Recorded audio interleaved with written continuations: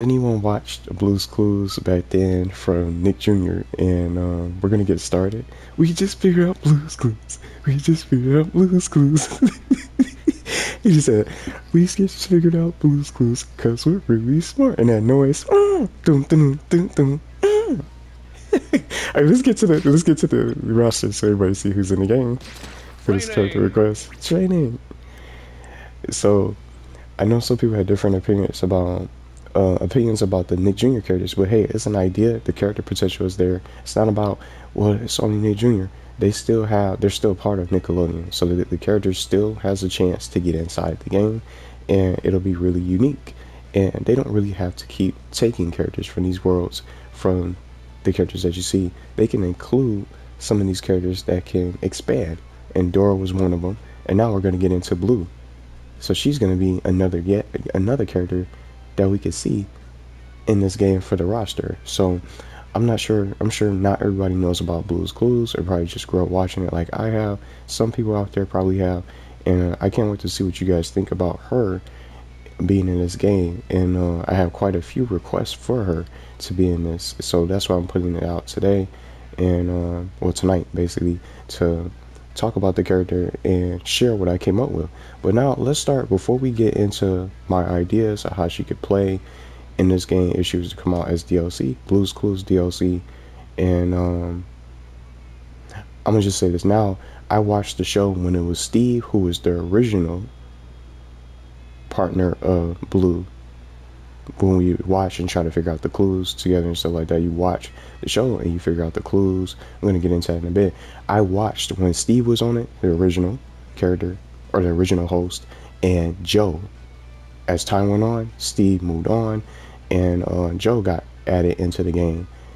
Well, I say added into the game, added into the show, and then I guess as time went on, in a newer host, Josh is a part of the show now, uh, part of Blues Clues and You.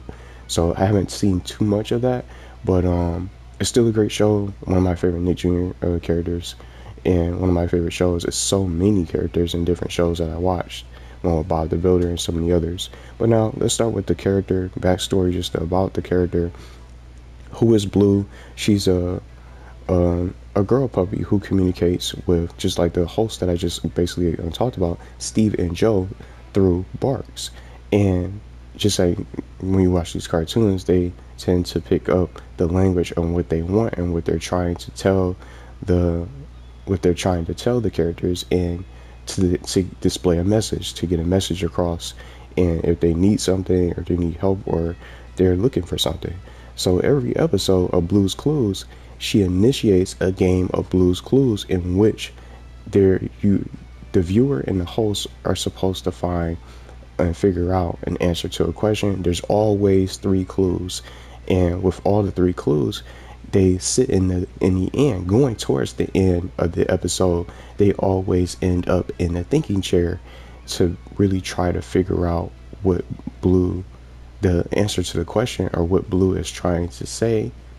And whatever it is, whatever is something every episode is always a brand new adventure. There's always some kind of different answer to the question a different question and different adventures that they get into. There's different worlds that they get to get to be a part of and they jump into and um, it's how i came up with some moves to reference the show to make it make sense but that's just basically what the episode and basically what the shows are about. It's playing this game of Blues Clues to try to figure out what she's trying to say and answer a question.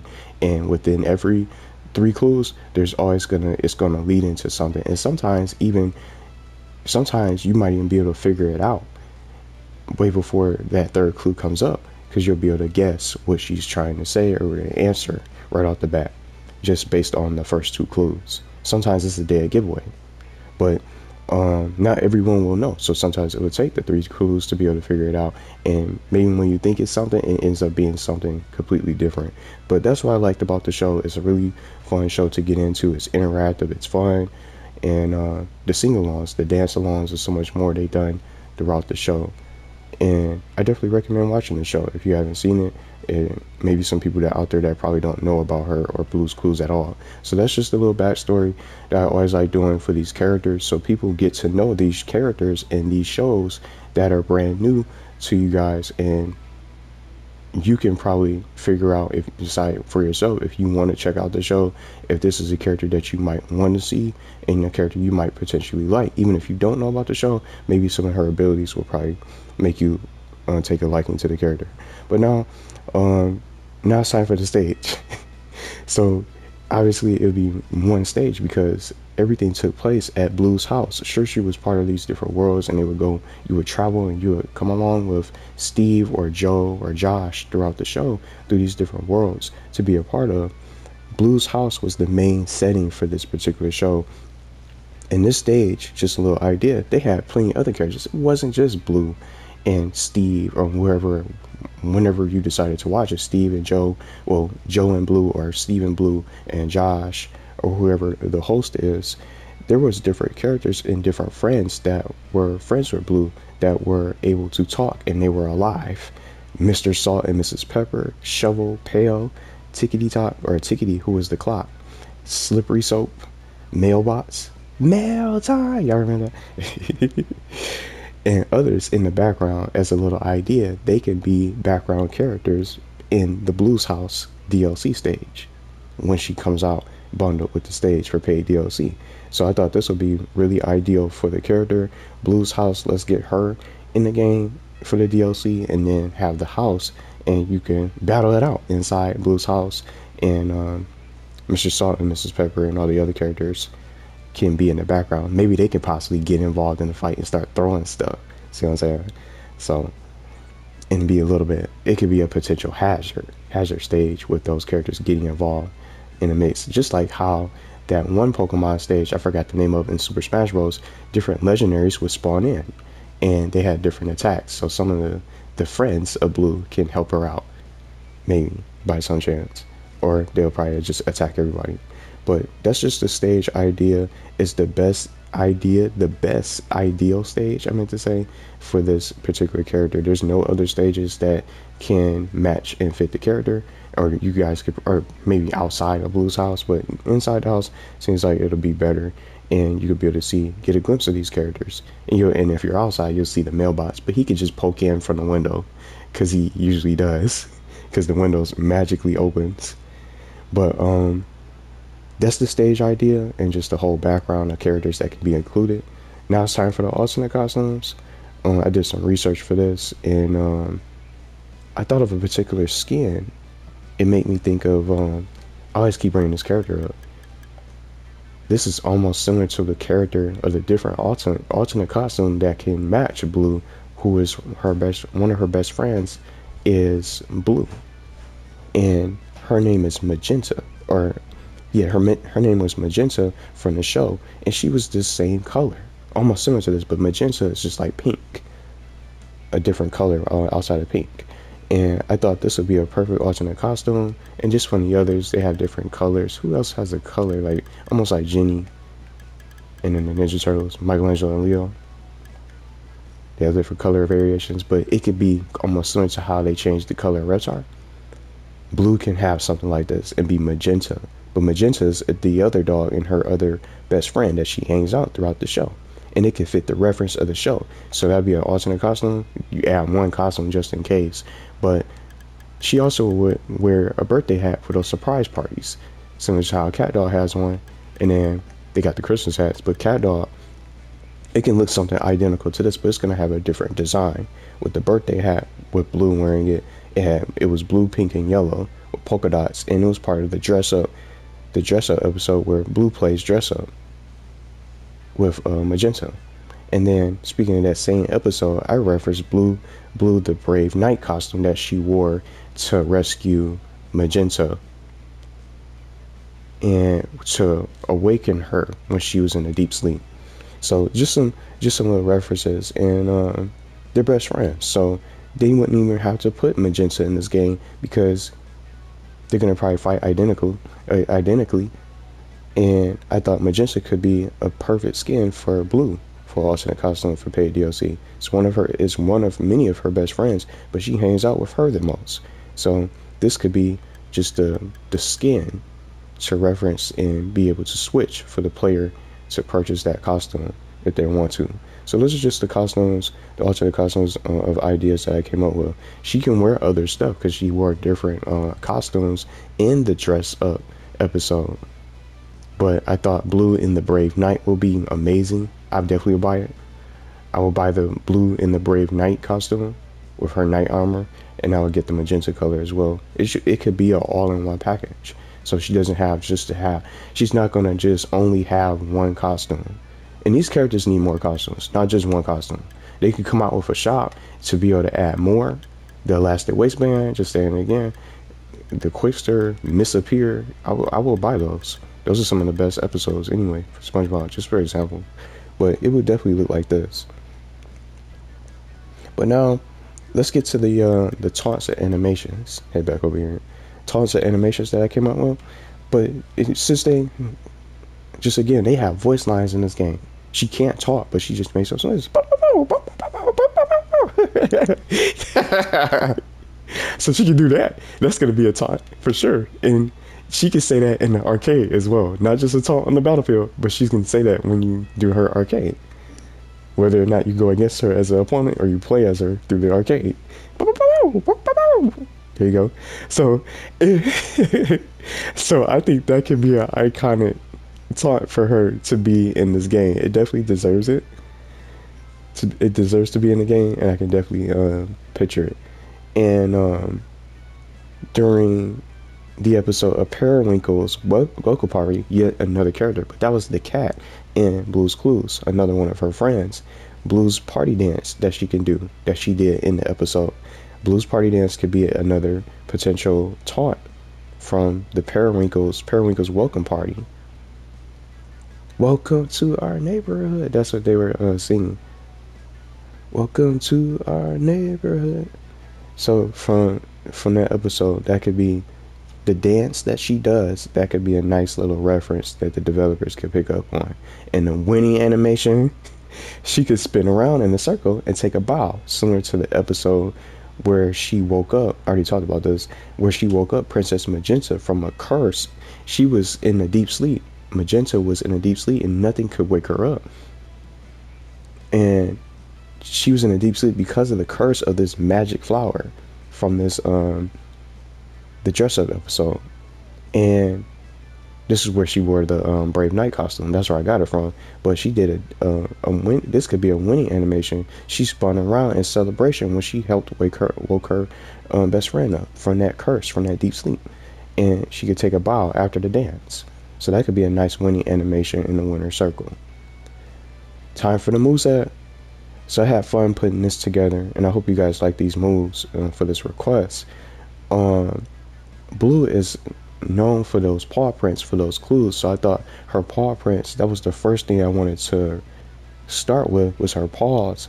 And she could be able to attack. They can be light attacks. So she can use her special paw, her special paws for light attacks and then a chargeable paw print uh strong for a special animation. See how when it's a clue, when you watch the episode, if you guys watch the episode, every time it's a clue, it's a paw print. It's one of Blue's paw prints that's marked. And then they'll say, whether Steve, Joe, or whoever it is, or Josh, it's a clue. So the characters, all the characters in this game, or whoever else is going to be in the game, from that time being, for the time being, it's going to be marked with that special paw it'll be a nice little animation, a nice touch that the developers can do. So when she hits you successfully with that special paw or chargeable um, paw print attack, you'll be marked. Of course, it's not gonna do additional damage, but you're just gonna have that mark on you because she knows she she marked you with it. You've been struck by the little special paw. So I thought that'll be a nice little uh, animation that they can do for her paws. Not just a, just a regular basic light attacks, but she can have a a special paw print that can be super powerful to be able to mark you. So that'd be awesome. Um, so that's what I came up with so far, just to start. But now, uh, the Blue Skidoo, if you guys remember, Blue Blue Skidoo Weekend 2. Steve would say that that the Skidoo was when they would jump into these different worlds, was the hospital, a museum, or uh, a whole different world uh, underwater or under the sea, any world that they would want to be a part of, whether it was from a book or a picture, they can jump into these worlds in a matter of seconds. with little to no effort. So I came up with this as a nice reference to the show with the blue skidoo. So that's why I call it this move. It's a strong rush attack to launch herself right into the enemy. See how they she jumps into these worlds. She can jump right into the enemy right off the bat, and that's going to do a lot of damage. It could be one of her best attacks. So you don't want to let her make contact with this blue skidoo. And if she misses, she's going to be wide open. So she could stumble just for a little bit. So that way it, it adds a little bit more a unique sort of animation and effect for the developers. So she misses the blue skidoo, she's to stumble and you can be able to attack her or get her get her off the stage in time before she recovers. So I thought this would be a perfect reference to the show where they jump into these different books and pictures of the worlds during their adventures. Because just like I was saying from the beginning, there's always something new and something new to get into for an adventure. It's never the same adventure. It's never the same clues. It's never the same um, sort of answer to the questions. They're always doing something new. New people come over to visit with some of her friends, and sometimes her friends need help. Some sometimes her friends will need something uh, to figure out to make a decision and uh, a clue to we will have to play Blue's Clues to figure out what we can do to help uh, the other characters and some of her friends throughout the show. So I just thought this would be one of the best moves for her. I really had fun putting that together. Snack time. where Blue will strike with a not so friendly bite attack. That's why it came up with snack time. So of course she's gonna be able to bite you, so she can have a series of combos with the bites. But this could be a strong too. But almost like see how SpongeBob he'll bite you too. Ah. and and somebody else like Lucy Loud, she'll bite you as well. So there's like two characters that can bite you in this game. At least from from the roster, I think they are. Yeah, they're the only two that can bite you. So Blue can be in the next one for uh, deadly snack attack or snack time attack or snack attack, something like that. On Dogpile, this is an area where Blue can land right on top of the enemy with a devastating stomp, with a stomp move. So if you if you double jump, you can just be able to just land right on right on uh, the opponent and just slam right down on them. See how see how Patrick does the little diving ice cream cone move from the episode when he's competing with SpongeBob in the games. It could be something like that, but it's gonna be in a stomp in a way. See how Garfield, he has one too, but he doesn't dive straight down. So it's a diving stomp attack. So I did dog pile or something like that, just to make it a little bit silly. But um, this one, she's gonna have her her, her own projectile. I came up with this from the show to reference um, to reference the episode, and I think it was that surprise party. I think it was when it was it wasn't it wasn't Periwinkle's party. It was Blue's birthday party, and the little song goes, I came up with present time just to reference the show again because it's the song itself. Present time, present time. It says present time, present time. Open them up and see what's inside. So she'll throw some presents, some explosive presents at you, and you'll see what's inside for yourself for some some crazy damage. So I thought that'll be really fun to really implement for present time. So she'll be able to throw some little gifts at you, some presents then the presents can be wrapped in different have different um the present boxes can be have they can have different colors. So just random colors if they want to whatever they choose to. And they're not going to do more damage. Maybe she can throw a bigger present maybe they can change up the variation of it. So she can throw a big present a giant gift a big gift and stuff like that. But i just thought that'd be a regular um, explosive or explodable presents to surprise the enemy in, in, in style Last but not least, I came up with a recovery move. I had to use her ears because if you watch the show, she uses her ears to pick up some things sometimes. And when she was opening some of the presents, she used her ears and so much more. So these ears can reach almost anything. So I thought this would be perfect for her recovery for Blue. Uh, floppy ears where she can use her long ears to grab and hang on to the edge of the stage. So when she grapples grabs the ledge, she can hang on it and then she could pull herself up whenever the player is ready to come up. So I thought that'll be a nice little unique recovery for her ears. I'm not sure what they can call it. I just said floppy ears, something silly, where she can use her ears to grab and hang onto the ledge and be able to recover. And if they want, it doesn't have to be like that. Like a grapple. See how Michelangelo uses his grapple to get on it. It could be something similar to that, but she's going to be using her ears and she can pull herself up whenever she wants. Michelangelo automatically uses his grappling or his nunchucks to automatically be on the edge, just hanging there. But it can have an animation where the, the player can pull themselves up. And if it's not something like that, I also added in some helicopter, uh, a helicopter effect where she can use her propeller. It can move like a helicopter, like a propeller, and be able to fly as an additional option for her recovery. So I really like that, and I definitely think that her recovery has to be with her ears, so that way she can be able to grab uh, grab hold of the the ledge and or the edge of the stage to get right back into the fight. But um, that's gonna that's gonna be it for our moveset. I'm not sure what you guys think. I had so much fun with this request. It takes time putting these together, but I have so much fun, you know, putting them together. And I knew about the characters, so it helped me even more because I already watched the show and seen many episodes of it, just from the the old days on Nick Jr. And it's so different now with Blue's Clues and you. They have different hosts, a different host with Josh being in it, but it's still good. It's still a good show, and um, just another Nick Jr. character for the request. And uh, I hope you guys enjoyed it. It was fun, and I definitely want to um, get more characters in soon. But um, I think Blue's Clues, Blue's Clues DLC would be fun. Blue would be a, a great character, a nice additional character that people could see. And even if you might not like too much, even if you don't like the show too much, I think it's, it's a character for everyone out there. And just because you don't know the character doesn't mean the character is not going to be great and someone else that might pick up the character if they get in might make the character look good and might turn you on to the character to want to try them out to be able to give them a chance but there's so many characters that the developers can do. I think blue is one of them. I already talked about dora. Blue is just yet another one of many nick junior characters that can be in this game and be able to shine